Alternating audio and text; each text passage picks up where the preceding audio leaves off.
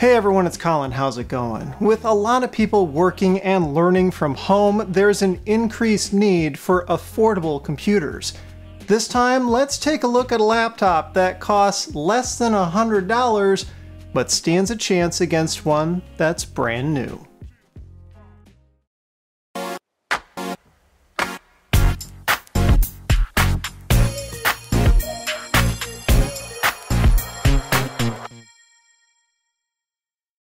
I think we're all familiar with how technology progresses. Computers keep getting faster, and traditionally, anything older than a few years got left behind.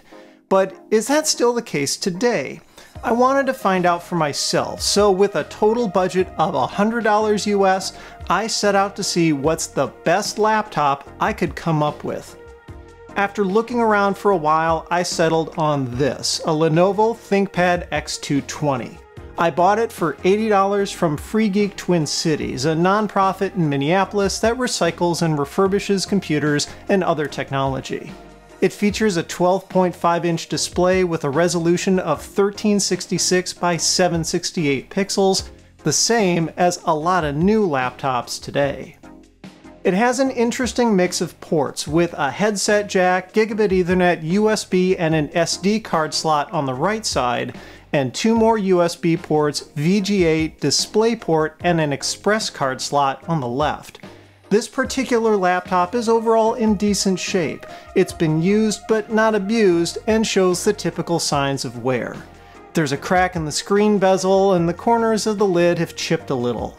The keys on the keyboard are a bit shiny and there are some scratches here and there, but none of this affects its functionality.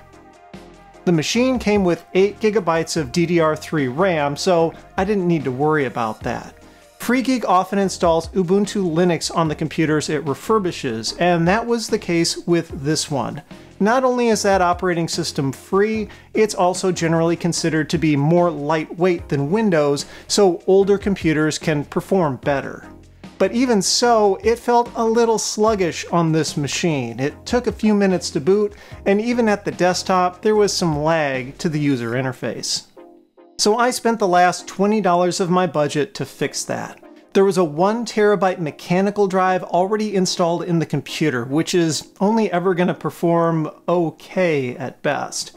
To replace it, I picked up a used SATA SSD, specifically a 128GB drive that's the OEM equivalent to a Samsung 830. It's by no means the latest and greatest in SSD technology, but it's still a decent drive, and well, any improvement would be welcome.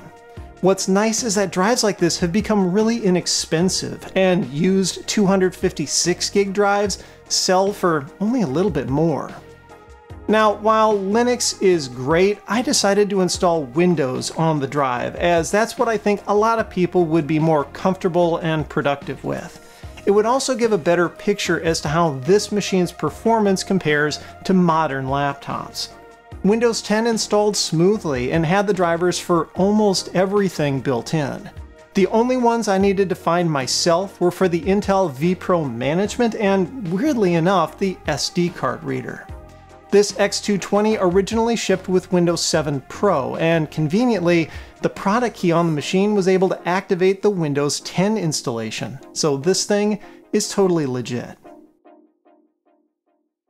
And with that SSD, the machine actually performs really well. It boots in just a few seconds and the UI is nicely responsive.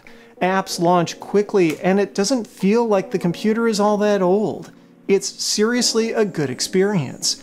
And that's actually the craziest part. The ThinkPad X220 was launched back in March of 2011.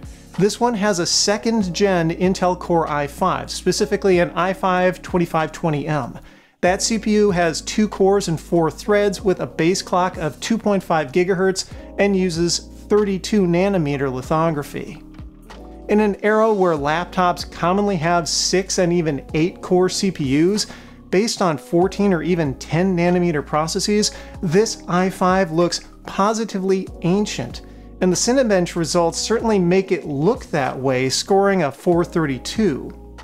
For comparison, my 6th gen ThinkPad X1 Carbon from 2018 pulled off a 1233.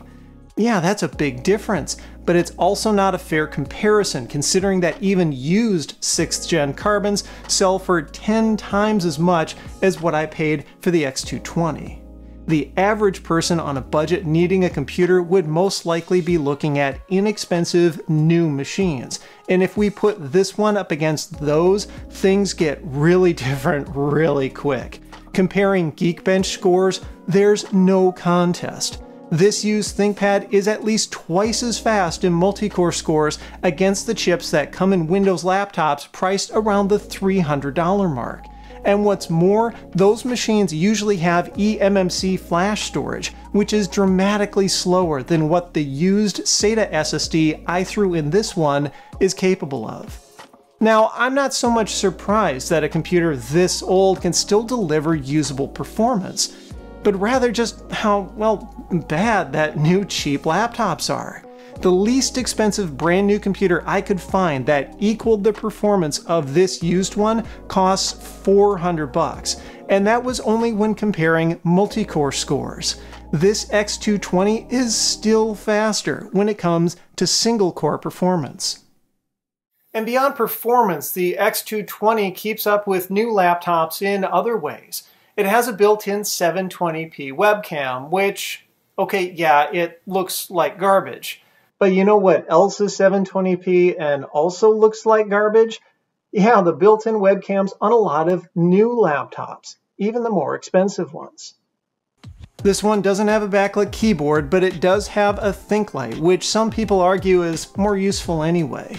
It has a fingerprint reader, though it's the kind of the clunky type where you have to swipe across it. And no, none of the machines from this time period have USB Type-C ports, but they are new enough to have USB 3, so external storage can still be plenty fast. There are, of course, some caveats to going with a used machine. First is that, well, yeah, I mean, it's used. There's no warranty. If it breaks, you're on your own.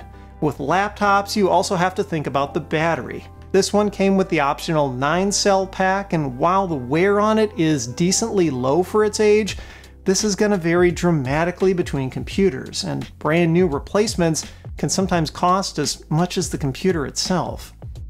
And finally, you have to be somewhat careful when picking one out. Your best bet is going to be to find a business class computer like a ThinkPad, Dell Latitude, or HP ProBook. They're generally much better built than consumer focused machines and are also easier to service and repair. Thankfully, there's a ton of them out there from companies that have upgraded or machines that have gone off lease, and prices are really reasonable. You may think the 80 bucks I paid for this X220 seems low, but that's actually about in line with what these are going for on eBay. And checking out other models from the same era shows similar prices, all averaging around the $100 mark. Of course, this is all from the perspective of general use computing, web surfing, productivity apps, online learning, nothing too intense. But clearly, a nine year old computer like this, if you choose wisely, can certainly keep up, even when running the latest operating system. It really shows that unless you need high performance computing, there's not so much of a reason to upgrade as frequently anymore. And what's even better is that machines almost a decade old are an incredible value and can still prove to be plenty useful. Sometimes they just need a little bit of help getting there.